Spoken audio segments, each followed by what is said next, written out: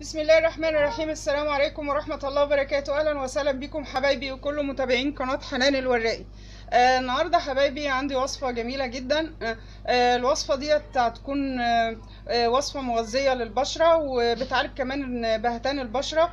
ومع تكرار الوصفة باستمرار حبايبي آه هتخلص البشرة من التجاعيد اللي بتكون موجودة فيها. آه نبدأ بسم الله الرحمن الرحيم ونشوف مع بعض الوصفة معانا هتحتاج لإيه.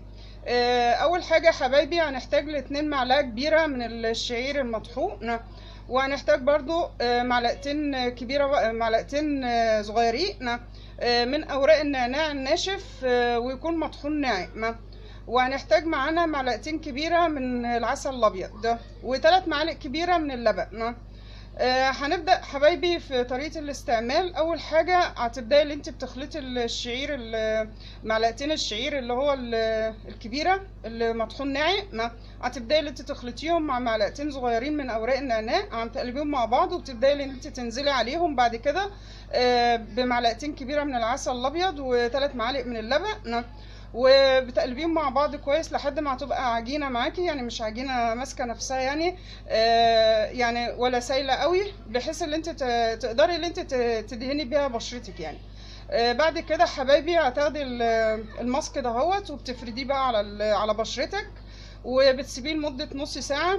بعد النص ساعة بتبدأي حبايب حبايبي اللي انت بتشطفي بشرتك كده بالمية الباردة. وبعد كده اهوت بتكرري الوصفة بقى بتكرري الوصفة ديت يعني مرتين أو ثلاث مرات كده في الأسبوع. بتدي بتدي نتيجة كويسة جدا جدا. مع تكرار الوصفة باستمرار حبايبي. بتخلص البشرة من التجاعيد اللي بتكون موجودة فيها وكمان بتبقى مغذية للبشرة كمان. وصفة جميلة جدا جدا. عشان كده حبيت إن أنا أشاركها معاكم النهاردة حبايبي.